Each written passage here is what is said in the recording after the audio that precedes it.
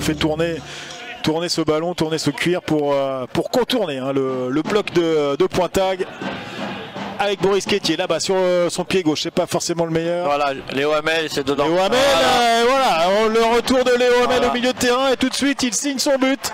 Voilà, il se projette euh, dans la surface, il suit euh, l'action, le centre de Boris Quétier qui est mal dégagé par la défense de Pointag. Léo arrive en embuscade et pousse le, le ballon du plat du pied dans les filets. Hein. Très, très joli but, un peu comme il avait marqué à l'aller, il me semble. Un but, vous allez voir euh, des Yumas de Léo Hamel qui signe ici son Encore 9 il, but, il marque tout 9 lui. but. Ouais, c'est ça. championnat. faut l'augmenter. Les Yumas